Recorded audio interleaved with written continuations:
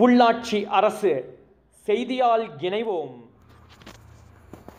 வணக்கம். உள்ளாட்சி அரசு செய்திகள் வாசிப்பது சரவணன். தமிழகத்தில் முதன் முதலாக விவசாயிகளுக்கென்று இருபது சதவிகிதம் சலுகை மருத்துவ வசதி கொண்ட மருத்துவமனையானது இன்று துவங்கப்பட்டது. கோவை சக்தி சாலையில் அனைத்து வசதி கொண்ட மருத்துவமனையான சென்னை மருத்துவமனை இன்று தொடங்கப்பட்டது.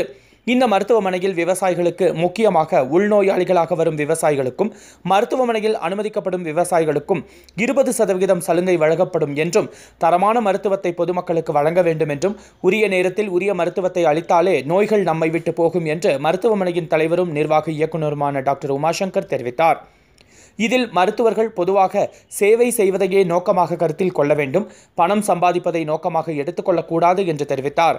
விழாவில் சிறப்பு விருந்தினராக ஆந்திராவைச் சேர்ந்த தொழிலதிபர் காத்தா ராவ் சுகுணா குரூப் கம்பெனியின் தலைவர் லட்சுமி நாராயணன் முத்துகிருஷ்ணன் மருத்துவர்கள் செவிலியர்கள் தொழிலதிபர்கள் நிர்வாக அலுவலர் மூர்த்தி உட்பட பலர் கலந்து கொண்டனர்.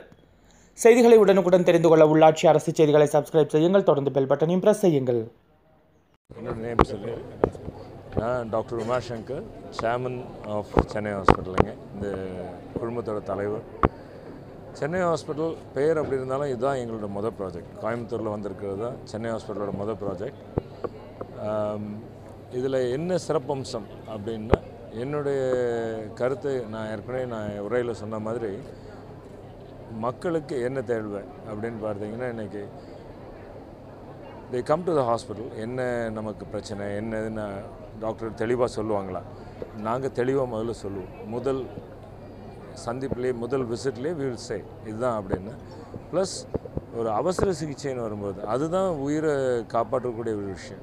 இன்றைக்கி வரலாம் இன்னொரு ஒரு மாதம் கழித்து பார்த்துக்கலான்றது வேறு. அவசர சிகிச்சைன்னு வரும்போது நாங்கள் வேறு எதையுமே பார்க்க போகிறதில்லை உங்களுக்கு என்ன அந்த நேரத்தை கொடுக்கணும் அதுதான்.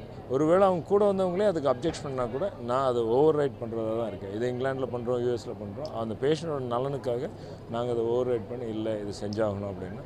இதில் பணம் குறிக்கோள் இல்லை. அவங்களுக்கு செய்கிறது தான் அவங்களுக்கு நல்லது செய்கிறது தான் நோக்கம்.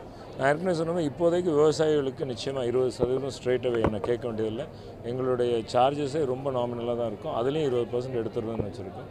இன்னும் மற்ற சமுதாயத்தில் நம்ம ஒடுக்கப்பட்டவர்கள் கொஞ்சம்